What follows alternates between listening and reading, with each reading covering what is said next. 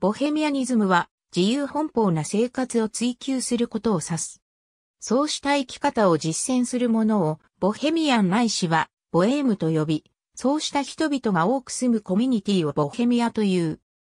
ボヘミア人、ルノワールが本来はボヘミア人という意味のボヘミアンという語を比喩的に定住性に乏しく異なった伝統や習慣を持ち、周囲からの別紙をものともしない人々という意味で使い始めたのはフランス人で、その起源は15世紀にまで遡る。これは当時フランスに流入していたジプシーが主にボヘミア地方からの民であったことがその背景にある。また現地ではボヘミア人のことをボヘちゃんと呼ぶ。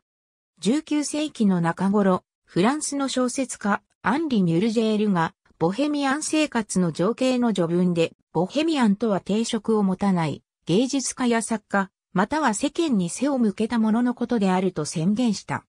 この小説は、プッチーニのオペラ、ラ・ボエームにもなり、以降ボヘミアンとは、伝統的な暮らしや習慣にこだわらない自由奔放な生活をしている芸術家気質の若者を指す言葉となった。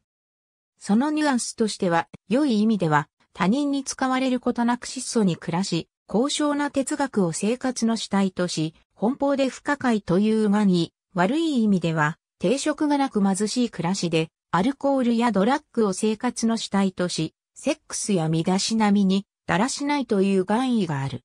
ある都市の一角に、ボヘミアンたちが多く居住したことによって、コミュニティが成立し、芸術や文化の発信地となった例が世界各地に多く存在する。このうち、特にボヘミアと呼ばれ、世界的に有名なものは、主に以下の通り。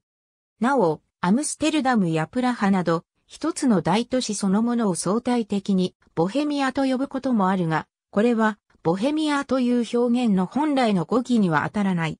また、日本では下北沢や原宿など、いわゆる若者カルチャーの発信地を比喩的にボヘミアと呼ぶこともあるが、これもボヘミア本来の語義には当たらない。1960年代のヒッピーカウンターカルチャーは、その後のアメリカにおけるネオボヘミアニズムの源泉となった。今日アメリカの多くの大都市にはかつて工場、倉庫、ロフトなどが肩を並べたボヘミアと呼ばれる区域が存在する。また、大都市郊外の名門大学を中心に成立した小都市の中にはそれ自体がボヘミアと呼ばれたり、ボヘミア的雰囲気に満ちているものが多い。こうしたネオボヘミアンコミュニティは、当初はそのボヘミア的雰囲気が魅力となって多くの人々を引きつけたが、外部からの住民の流入が増加するにつれて、ジェントリフィケーションが起こり、その結果ボヘミアの雰囲気が失われてしまった、または失われつつあるところが少なくない。